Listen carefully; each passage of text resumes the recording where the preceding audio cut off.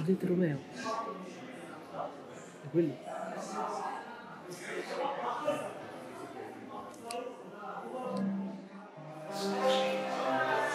Adesso mi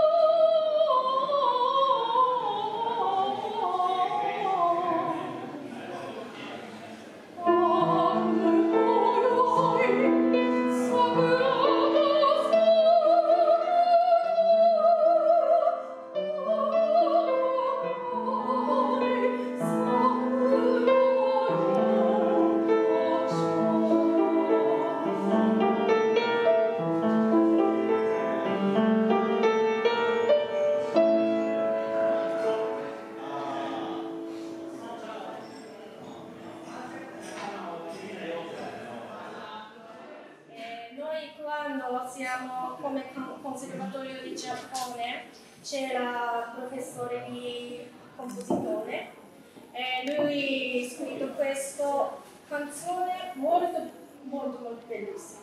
E oggi vogliamo cantare anche questo pezzo e si chiama Megumarishi Kono Inochi.